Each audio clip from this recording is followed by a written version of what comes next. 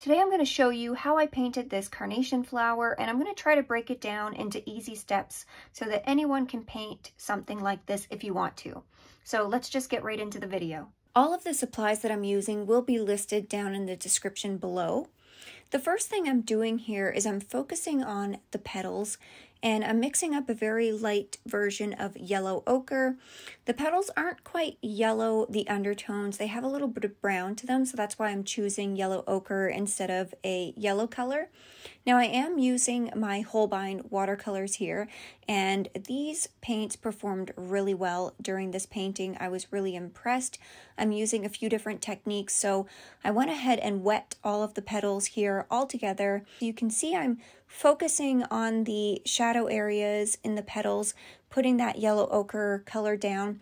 And then I just add a touch of the burnt sienna to a couple of darker areas.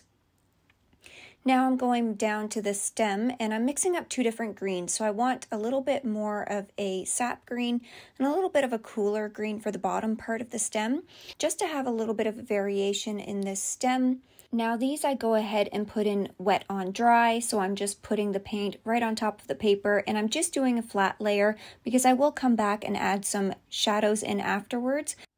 But for this carnation, I really wanted to test these paints and see how they layered and performed with some of my techniques that I like to use. So then I need to mix up a red for the petals. Now, these petals have a really nice, warm, bright red, almost like a Winsor red, and I didn't have that color in this set, so I end up taking the vermilion hue, which is very orangey, and mixing that with the quinacridone red, which is a lot more pink, and that gave me that really nice, like Winsor red. And I'm doing this wet on dry, and I'm just dropping this color in on the edges of the petals.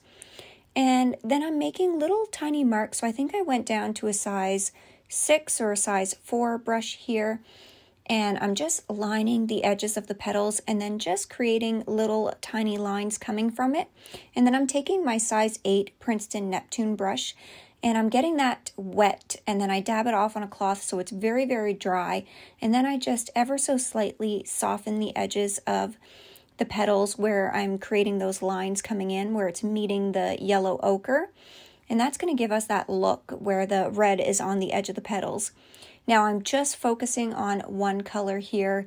So once we get started with this, the petals are going to start to look a little flat because we're just using the one red, but we will come in afterwards and mix up a little bit darker of a red color just to give some variation and to start giving those petals the look that they're curving and turning. Now, if this video is going a little bit too quick for you, I do have a Patreon where I post all of my tutorials in real time, and I will go ahead and link that down below. You get the line art, and I go very in depth with my detailed explanation. I show you exactly what colors I'm using on my color swatches, and I'm able to explain a little bit more as I'm doing it. Now, one thing I want to note for the back petals that are a little bit further in the back, I'm not worrying about getting as much detail into those.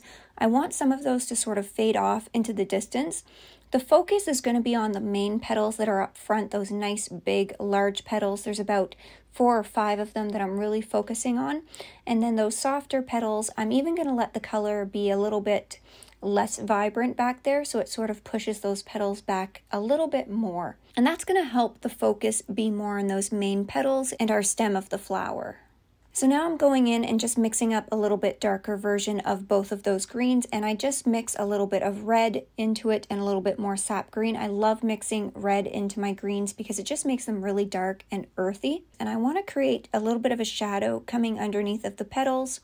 So I'm taking that tone and I'm doing wet on dry again, but for some of these shadows I want them to be very stark, so I want a harsh line under that petal but then some of the shadows that are on the little stems sticking out, I am taking that Princeton Neptune brush and softening out some of those areas. And then I just add a little bit more sap green and a little bit more red and create just an even darker version of that green just for the very darkest parts.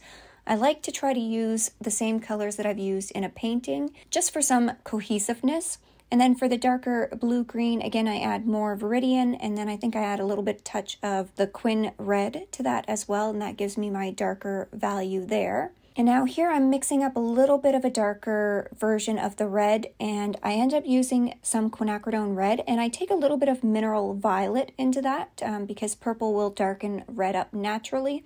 If you had something like neutral tint, you could always use that as well. I love using neutral tint in with my reds because it leans just a little bit more on the purple side. And I'm not taking this color everywhere that I took the bright red color.